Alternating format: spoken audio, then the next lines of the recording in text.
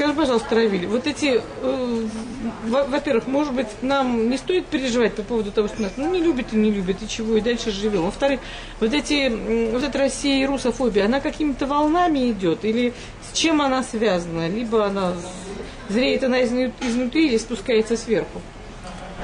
Ну, э, она явно не идет снизу здесь, в. Это я могу стопроцентно, потому что люди, с которыми я общаюсь и говорю, и э, люди среднего класса, люди творческие особенно, они, в общем, относятся к этому с интересом. Они могут э, любить или не любить, но английский характер таков, что он, в общем, э, достаточно скрытный характер, конечно, в основном.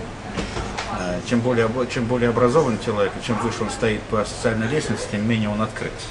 Но, э, тем не менее, я думаю, что неприязнь к России, она еще э, в Англии это имперская черта. И она идет с очень давних времен, на самом деле. И идет, с одной стороны, с геополитического вот такого, что ли, соперничества, вечного соперничества. Вечно э, Россия себя мерила по Англии, а Англия себя мерила по России в каком-то смысле, да, в смысле имперском, в смысле каких-то поползновений и о, имперских интересов. Но тут еще есть одна вещь, которая э, Россия и Англия, они кажутся только вот антиподами э, и двумя полюсами Европы. Казалось, что ничего общего, так сказать, у них нет, потому что они по разные стороны Европы стоят. Это максимально европейская страна Англия.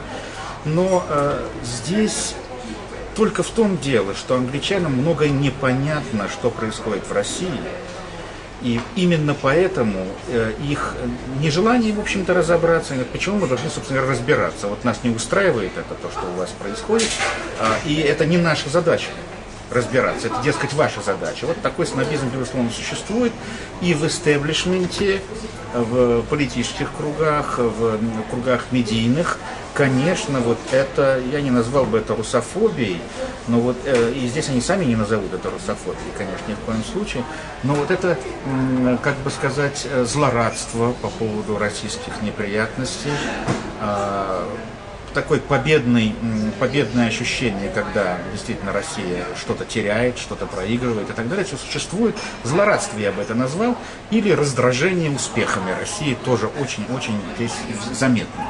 Это вот раздражение и злорадство.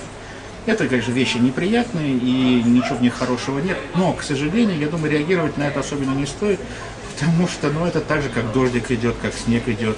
Это нечто данное уже. Это не потому, что мы себя, как россияне, ведем как-то не так.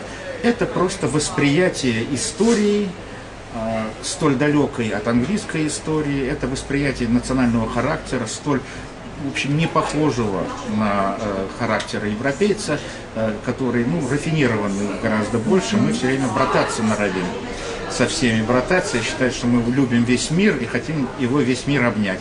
А весь мир уклоняется, потому что это не в его привычке брататься. Вот что и происходит.